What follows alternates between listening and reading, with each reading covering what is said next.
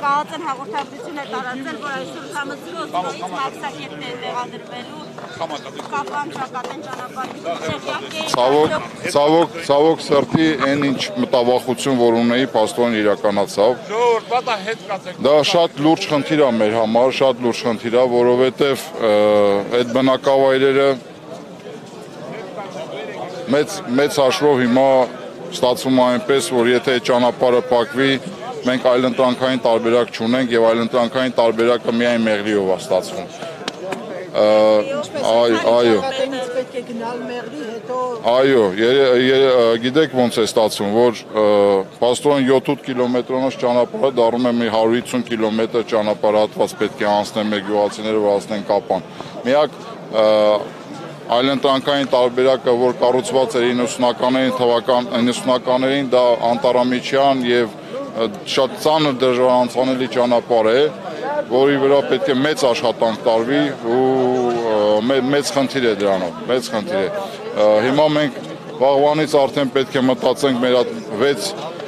գյուղական բնակավայրի եւ բնակիչների մասին։ Բայց վստահ չեն կարողանալու անցնել։ Ձեզ որևէ բան տեղեկացրել եմ, որովհետև ազգային անվտանգության ծառայությունն ասում է մաքսային վերահսկողություն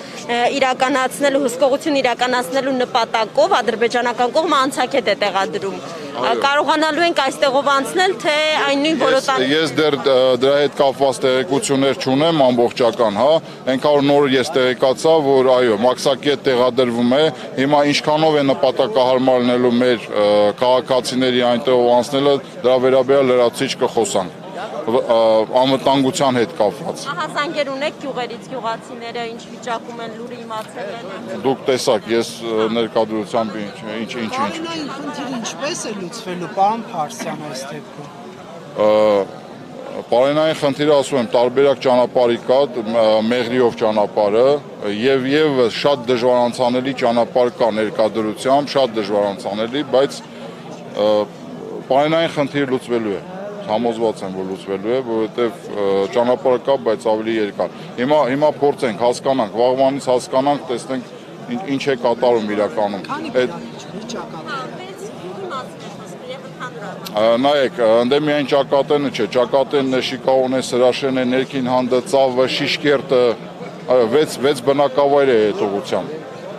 Եվ մոտ 600-ից 700 բնակիչ են ճանապարհը վատ վիճակում է դժվար անցանել Ա, Կարճ ճանապարհը, Գեղանուշով անցնող ճանապարհը շատ վատ վիճակում է։ Շատ վատ վիճակում է։ Այն նույն ճանապարհն է, որի աշխատանքները սկսել են իրականացնել, մենք Այդ ճանապարհի նկատմամբ աշխատանքները սկսել են իրականացնել արդեն 2 օր է, այն օրվանից որ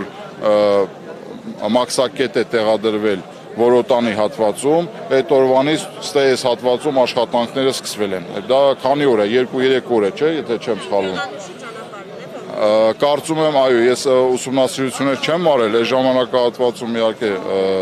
բայց կարծում եմ, այո, այդ նույն ճանապարհի մասին է խոսքը։